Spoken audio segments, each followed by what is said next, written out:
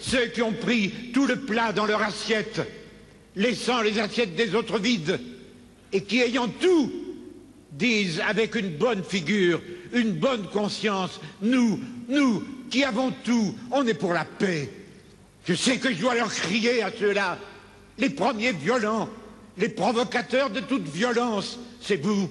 Et quand le soir, dans vos belles maisons, vous allez embrasser vos petits-enfants, avec votre bonne conscience, au regard de Dieu, vous avez probablement plus de sang sur vos mains d'inconscient que n'en aura jamais le désespéré qui a pris des armes pour essayer de sortir de son désespoir. You cannot begin to imagine in how many ways the world is the opposite of what you have been taught to believe. You see the guy who sells drugs to willing customers so he can feed his family as the scum of the earth, while you see the hypocrite who gives away stolen money in the name of government as a saint. You see the guy who tries to avoid being robbed by the federal thugs as a crook and a tax cheat but see as virtuous the politician who gives away the same stolen loot to people to whom it does not belong.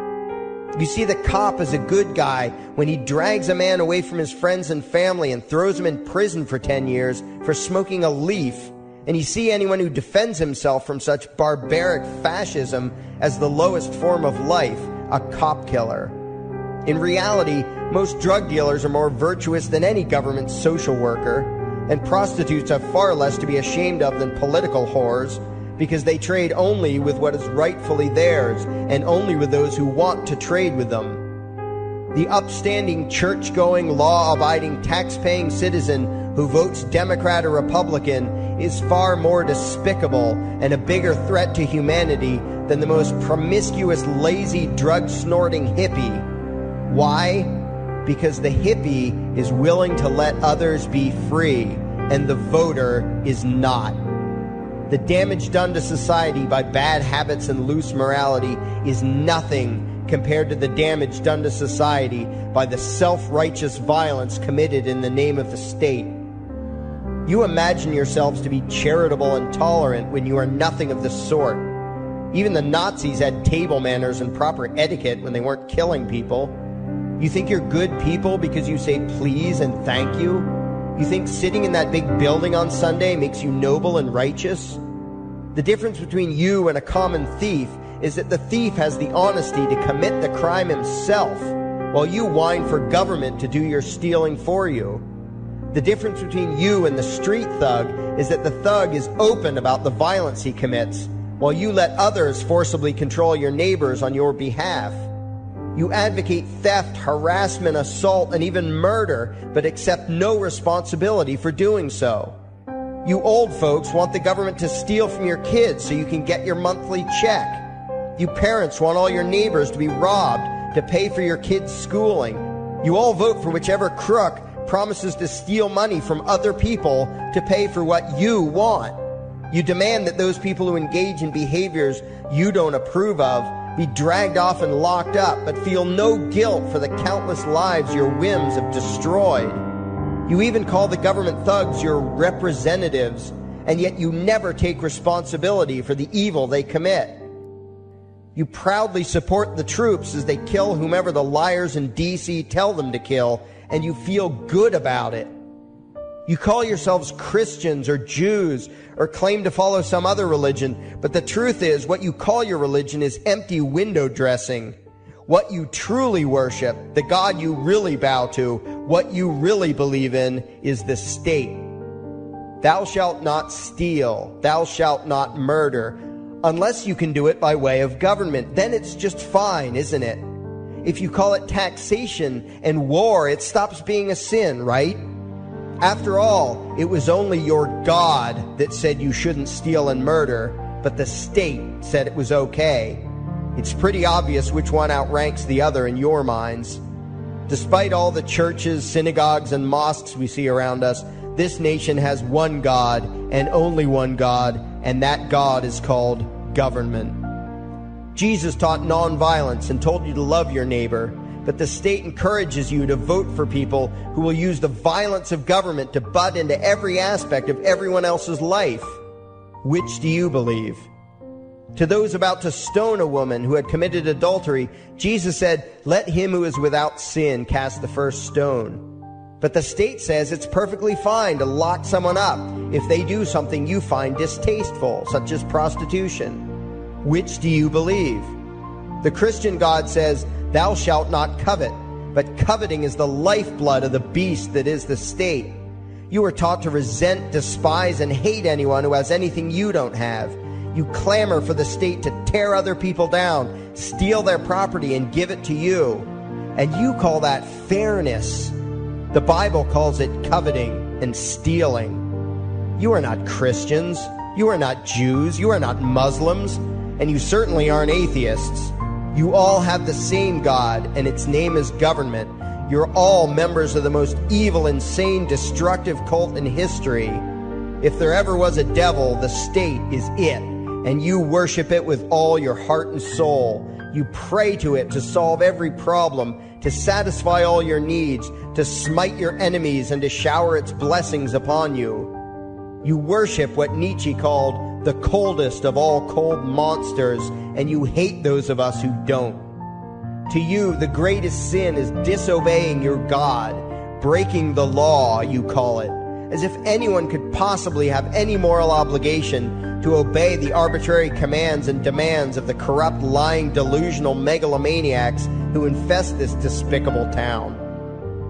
Even your ministers, priests, and rabbis, more often than not, are traitors to their own religions, teaching that the commands of human authority should supersede adherence to the laws of the gods they say they believe in.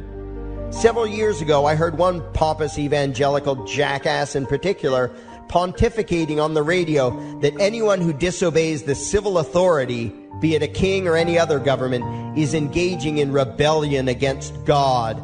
Those were the exact words he used. What if the government is doing something wrong? Well, this salesman for Satan opined, that is the business of those in government, and you are still obligated to obey. Everywhere you turn, be it the state or the church, the media or the schools, you are taught one thing above all else the virtue of subjugating yourselves to mortals who claim to have the right to rule you. It is sickening the reverence with which you speak of the liars and thieves whose feet are so firmly planted on your necks. You call the congressmen and the judges honorable, and you swoon at the magnificence of the grandiose halls they inhabit, the temples they built to celebrate the domination of mankind. You feel pride at being able to say you once shook a senator's hand or saw the president in person. Ah, yes, the grand deity himself, His Royal Highness, the President of the United States of America. You speak the title as if you're referring to God Almighty. The vocabulary has changed a bit, but your mindset is no different from that of the groveling peasants of old who bowed low, faces in the dirt, with a feeling of unworthiness and humility when in the presence of whatever narcissist had declared himself to be their rightful lord and master. The truth of the matter, back then and today, is that these parasites who call themselves leaders are not superior beings. They are not great men and women. They are not honorable. They're not even average. The people who earn an honest living, from sophisticated millionaire entrepreneurs to illiterate day laborers doing the most menial tasks you can imagine, those people deserve your respect. Those people you should treat with courtesy and civility. But the frauds who claim the right to rule you and demand your subservience and obedience, they deserve only your scorn and contempt. Those who seek so called high office are the lowest of the low. They may dress better, have larger vocabularies, and do a better job of planning out and executing their schemes, but they are no better than pickpockets, muggers, and carjackers. In fact, they are worse because they don't want to rob you of just your possessions. They want to rob you of your very humanity, deprive you of your free will by slowly leeching away your ability to think, to judge, to act, reducing you to slaves in both body and mind. And still you persist in calling them leaders. Leaders? Where is it that you think you're going exactly that would require you to have a leader? If you just live your own life and mind your own damn business, exercising your own talents, pursuing your own dreams, striving to be what you believe you should be, what possible use would you have for a leader? Do you ever actually think about the words that you hear, the words that you repeat? You parrot oxymoronic terms such as the leader of the free world, even pretending for a moment that there is some huge journey or some giant battle that everyone in the entire nation is undertaking together that would require a leader. Why would you ever think, even for a moment, that the crooks that infest this town are the sort of people you should listen to or emulate or follow anywhere. Somewhere inside your mostly dormant brains, you know full well that politicians are all corrupt liars and thieves, opportunistic con men, exploiters, and fearmongers.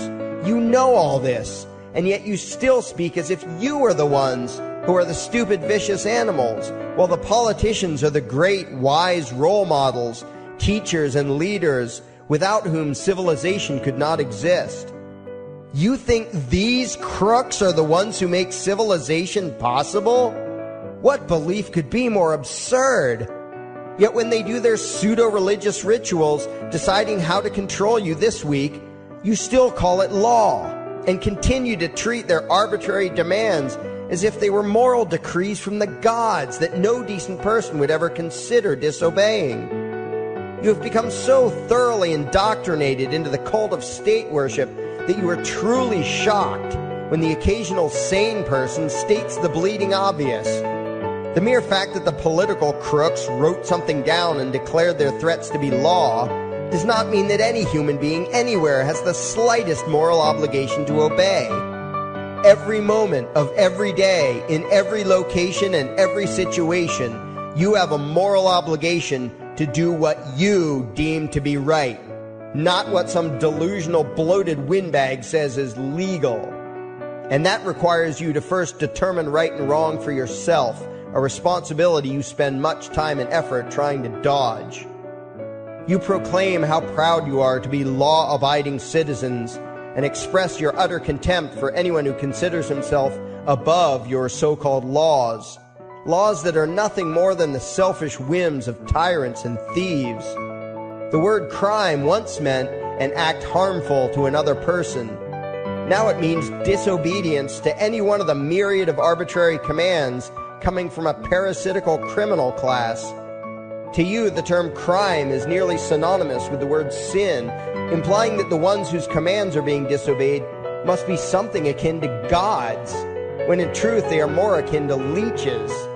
The very phrase, taking the law into your own hands, perfectly expresses what a sacrilege it is in your eyes for a mere human being to take upon himself the responsibility to judge right from wrong and to act accordingly instead of doing what you do, unthinkingly obeying whatever capricious commands this cesspool of maggots spews forth. You glorify this criminal class as lawmakers and believe that no one is lower than a lawbreaker, someone who would dare disobey the politicians. Likewise, you speak with pious reverence of law enforcers, those who forcibly impose the politicians' every whim upon the rest of us.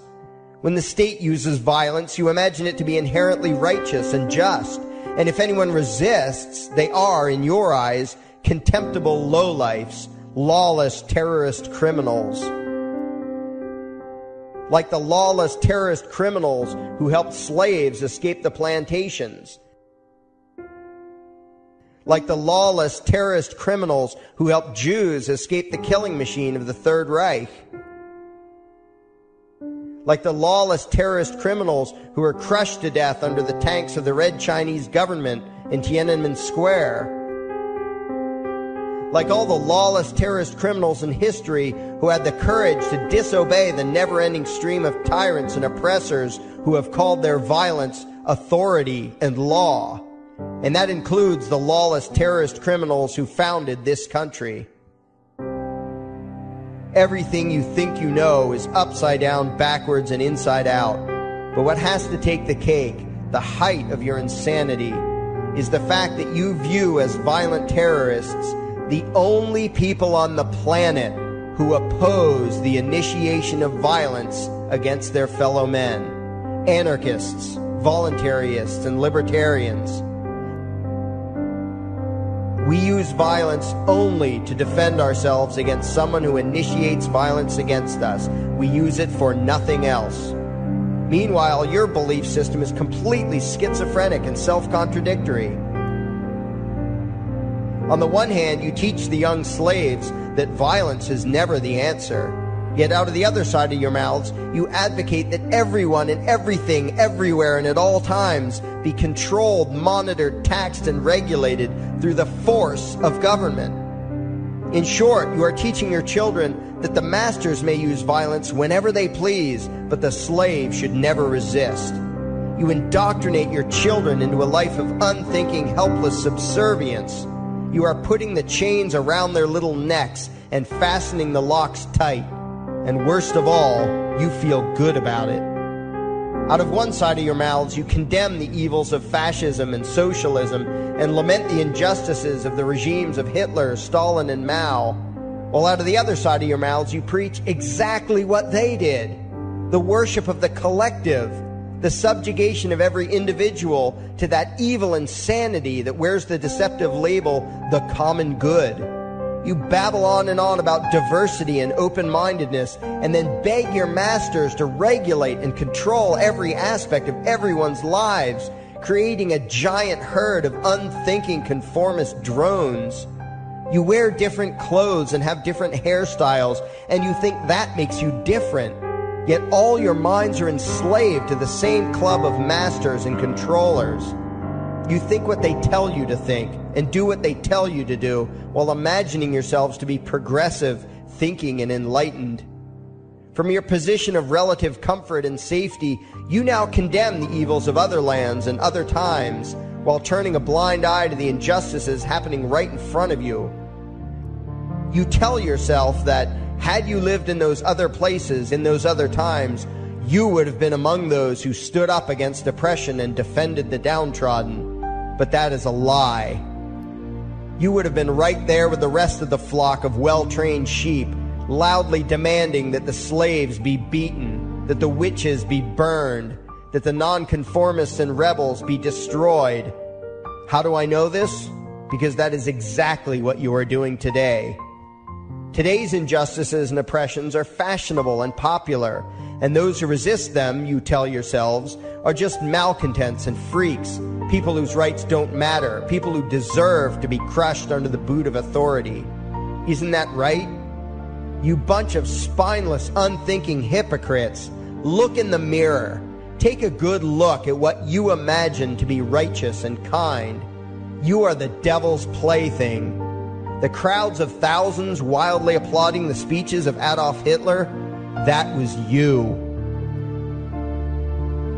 The mob demanding that Jesus Christ be nailed to the cross, that was you. The white invaders who celebrated the wholesale slaughter of those godless redskins, that was you.